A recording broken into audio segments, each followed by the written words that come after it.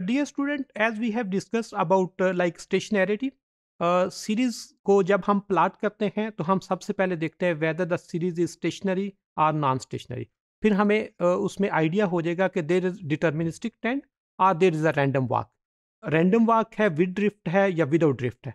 तो आगे चलने से पहले the next concept is pure random walk when the series या आपका जो ट्रेंड है बिकम प्योरली रैंडम वॉक तो एक कंप्रीहेंसिव इक्वेशन आपके साथ I have shared like Y T the series of Y with the passage of time is equal to beta one beta one is your drift beta two T this is depending on the time. It means this is your deterministic trend.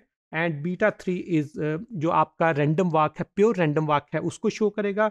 And error term वहीं जो definition की थी कि your mean is zero and variance आपका constant होगा तो ये एक कम्प्रीहेंसिव मॉडल है। ये प्योर रैंडम वॉक कब होगा? अभी यहाँ पे ड्रिफ्ट भी है, अभी यहाँ पे टाइम ट्रेंड भी है, अभी यहाँ पर एरर टर्म भी है। अब इसको किस वक्त हम कहेंगे, ये प्योर रैंडम वॉक बनेगा।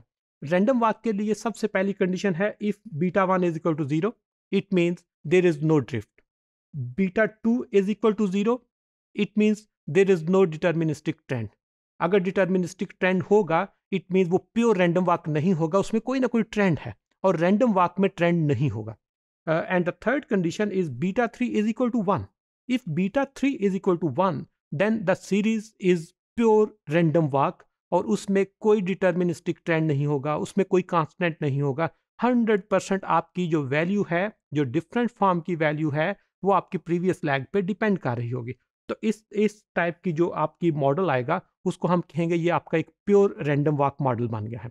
अब प्योर रैंडम वॉक मॉडल को जिस वक्त हम देखते हैं तो ये most of the time this is non stationary process this is non stationary series अब नॉन स्टेशनरी जो सीरीज़ होती है प्योर रैंडम वॉक उसको अगर हम देखें, उसकी शेप किस टाइप की होगी, या उसको किस तरह हम पहले फार्मूले के थ्रू के change in Y T Y T minus Y T minus one is equal to only error जब ओनली एरर होगा तो उसको, इसको हम कहते हैं this is like different stationary process के रैंडम वाक को स्टेशनरी बनाने के लिए आपने उसका डिफरेंस लिया।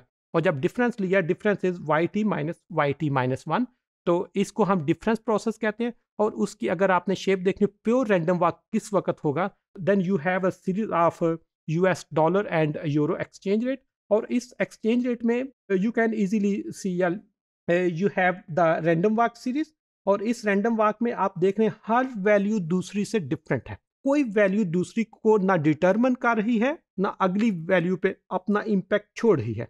इसलिए इस टाइप की अगर आपके पास कोई भी सीरीज़ होती है तो उसको कहते हैं कि यहाँ पर आप लोग देख रहे हैं there is no trend like in first phase there is negative trend then in second one there is positive trend then after minor decrease there is again a positive trend here is positive and negative. Here is again positive, negative and positive. यानी हम इसको जो random numbers हैं, हम predict नहीं कर रहे। ये अपनी मर्ज़ी से कभी इंक्रीज हो सकती है डिक्रीज हो सकती है। Like if you have the series ये एक पॉजिटिव ट्रेंड है। दिस इज़ डिटर्मिनिस्टिक ट्रेंड लेकिन इस डिटर्मिनिस्टिक ट्रेंड से जिस वक्त हम रैंडम वाक कहते हैं this is some sort of random walk इसमें हम प्रडिक्ट नहीं कर सकते। एक वैल्यू पॉजिटिव हो रही है नेगेटिव बहुत पॉजिटिव हो रही है, बहुत नेगेटिव हो रही है। So this is pure random walk process लेकिन यहाँ पर अगर हम देखें तो this is your deterministic trend तो यहाँ से आपको क्लैरिफाई हो जाएगा कि आपकी सीरीज़ किस टाइप की होगी तो उसको रैंडम वॉक में आप कहेंगे। किस टाइप की होगी तो डिटर्मिनिस्टिक कहेंगे। किस टाइप की होगी तो आप कहेंगे there is random walk with drift किस वक्त खेंगे रैंडम वॉक विदाउट ड्रिफ्ट तो इससे आप सबसे पहले सीरीज़ को ड्रॉ करेंगे, उसका आप स्कैटर प्लाट देखेंगे, उसका लाइन चार्ट देखेंगे तो उससे आपको सीरीज़ की जो करेक्टरिस्टिक्स हैं, उसका आइडिया हो जाएगा कि नेक्स्ट हमने इसको किस तरह डील करना होगा।